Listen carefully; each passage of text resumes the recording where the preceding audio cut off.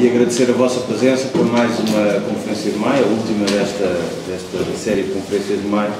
dedicada ao tema Novos Sinais que temos que fazer. Eh, para esta última conversa, eh, convidámos, eh,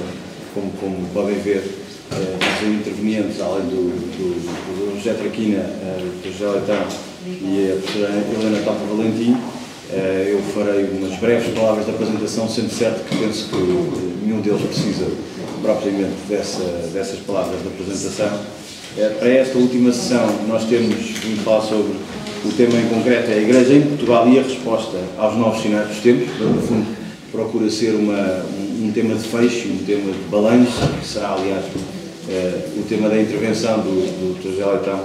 acerca dessa matéria, por ele que vamos começar, vamos começar por ouvir a propósito de, de, um pouco do balanço daquilo que tem sido uh, as várias conferências que nós já realizamos uh, neste mês de maio. Uh, eu vou fazer uma breve apresentação, volto a dizer que me parece completamente dispensável, mas em todo o caso, para registro, o Dr. Jaletão, como sabem, Presidente da Direção do CRC, é licenciado em Direito, advogado, é deputado à Assembleia Municipal, onde lidera o Grupo Municipal do Partido Socialista, é, é, é também,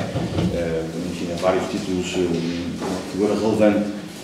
dessa, dessa, desse partido político, exerceu o cargo de Alto Comissário para a Imigração e Minorias Étnicas no âmbito do, do tempo do 13º e 14º governos constitucionais eh, e vai falarmos, como já disse, um pouco sobre aquilo que tem sido as conferências de maio e tentar perceber, afinal de contas, eh, o que é que já se disse acerca dos desafios dos novos tempos e dos novos finais dos tempos e de que se tem falado aqui nas nossas conferências.